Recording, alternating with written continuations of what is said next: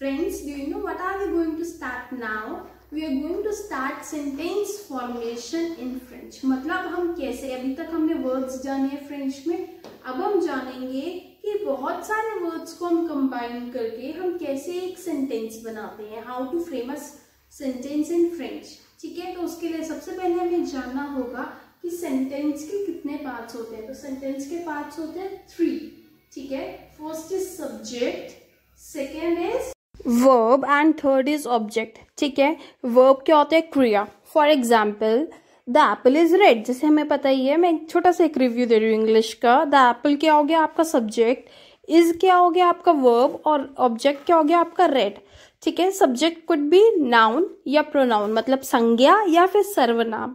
ठीक है? अब ये हमने, अब इसको हम फ्रेंच में देखते हैं. ठीक है? फ्रेंच में हम इसे कैसे बोलेंगे? ला पॉम ए रूज ला पॉम मतलब फेमिनिन ला है, पॉम फेमिनिन है इसलिए ला लगा है तो ला पॉम मतलब द एप्पल इज़ रेड ला पॉम ए रूज सब्जेक्ट के टू पार्ट्स होते हैं नाउन्स और प्रोनाउंस नाउन्स हमने अपनी पिछली वीडियो में कर चुके हैं, आज हम पढ़ेंगे प्रोनाउंस इन फ्रेंच अब हमारे पास प्रोनाउंस जो है मेनली वो टू कैटेगरीज में डिवाइडेड होते हैं, जैसे सिंगुलर या प्लूरल ठीक है सिंगुलर मतलब हो गया आपका I you he she it ठीक है मतलब एक एक की, एक लड़का, एक लड़की, एक वस्तु, ठीक है? तो ऐसे ही प्लूरल में हो गया बहुत सारा, बहुत सारे लड़के, बहुत सारे लड़कियाँ, ठीक है? या बहुत सारी चीज़। तो ये हो गया हमारे पास सिंगुलर और प्लूरल ऐसे ही हमारे पास फ्रेंच में भी हमारे पास ऐसे ही होते हैं सिंगुलर और प्लूरल ठीक है? तो क्या बोलते हैं इसे?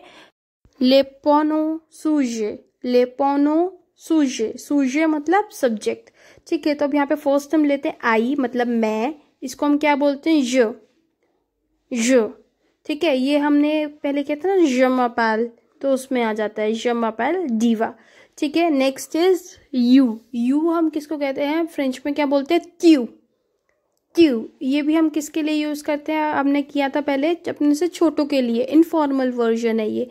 ठीक है, या किसी को फ्रेंडली वे में बोलना हो तो क्या बोल देते हैं? त्यू ठीक है? और आपको स्पेसिफिकली बोलना है किसी मेल के बारे में मतलब स्पेसिफिकली बोलना है ही जैसे हम बोलते हैं ही इंग्लिश में या फिर इट भी। क्योंकि फ्रेंच में तो इट होता ही नहीं। फ्रेंच में तो मेनली या तो चीज़ क्या है? आपकी फेमिनिन है या फिर मैस्कुलिन है। ठीक है? तो यहाँ पे हमारा ही और इट मतलब अगर कोई वस्तु अगर वो, वो कोई वस्तु अगर हमारी मैस्कुलिन है और सिंगल है ठीक है तो हम उसे क्या बोलेंगे? इल। फॉर एग्ज़ाम्पल जैसे हमारे पास हो गया गैरसो गैरसो का मतलब क्या होगा लड़का। ठीक है तो उसके लिए हम क्या बोलेंगे? इल। ठीक है, और जैसे हमारे पास अगर कोई लड़की है तो उसको हम क्या बोलते हैं? फ़ी फ़ी तो वो क्या हो गई हमारी? उसके लिए हम क्या यूज़ करेंगे? एल एल जैसे हम बोलते हैं ना कि वो गा रही है, वो लड़की गा रही है तो आप क्या बोलोगे उसके लिए?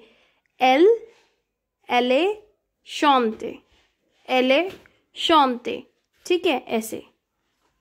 मतलब शी इज़ सिंगिंग ठीक है नेक्स्ट देखते हैं वी वी का मतलब होता है हम। ठीक है तो वी को क्या बोलते हैं लोग फ्रेंच में? नू नू ठीक है नेक्स्ट गया हमारे पास यू यू को क्या बोलते हैं? वू वू यहाँ पे जो हमारा वू है, वो हमारा फॉर्मल वर्जन है। ठीक है नेक्स्ट अगर बहुत सारी चीज़ हैं तो उसको हम क्या बोलते हैं? इल। बहुत सारी चीज़ें जो मेस्कुलिन जो मेस्कुलिन है और जो फेमिनिन है। ठीक है? और जो प्योरली फेमिनिन है, उसके लिए हम क्या यूज़ करते हैं? एल एल ठीक है? फॉर एग्ज़ाम्पल मैंने कुछ एग्ज़ाम्पल लिए चार एग्ज़ाम्पल फॉर एग्ज़ाम्पल यस्वी तौन एमी यस्वी तौन एमी मतलब जो क्या हो गया इसमें? हमारा पर्सनल प्रोनाउन हो गया। इसमें क्या बोलते हैं? जो का हम क्या बोलते हैं? आई ठीक है नेक्स्ट हो गया, वो पार्ले थ्रे वी मतलब यू स्पीक वेरी फास्ट आप बहुत तेज बोलते हो। तो यहाँ पे हमारा प्रोनाउन क्या हो गया? वो। ठीक है नेक्स्ट आ गया हमारे पास इल अत्वाशिया इलत्वाशिया मतलब ही हैज़ थ्री डॉग्स इसमें हमारे पास प्रोनाउन क्या हो गया? इल। ठीक है नेक्स्ट इज़ एल एल पू पहले एल्मो एल पू पहले एल्मो ठीक है, इसमें हमारे पास एल क्या हो गया हमारे पास यहाँ पे?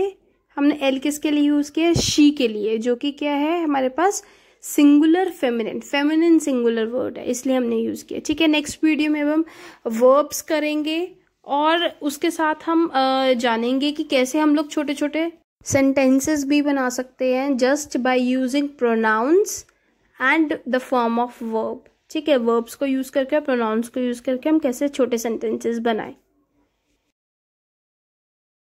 So friends, I hope now you have understood how to frame sentences in French. ठीक है हम अपनी आगे वाली वीडियोस में जानेंगे कि सेंटेंसेस जो हैं वो नेगेटिव भी होते हैं। ठीक है और क्वेश्चन वाले भी होते हैं इंटेरोगेटिव सेंटेंसेस बोलते हैं। तो कैसे हम फ्रेंच में वो बोलते हैं कैसे कंपोज करते हैं सेंटेंसेस को? ठीक है? तो ये जस्ट एक स्टार्टिंग का वीडियो था आपको बेसिस समझाने के लिए कि कैसे हम सेंटेंस फॉर्मेशन करते हैं फ्रेंच में। If you like my video then please like share and subscribe children bye take care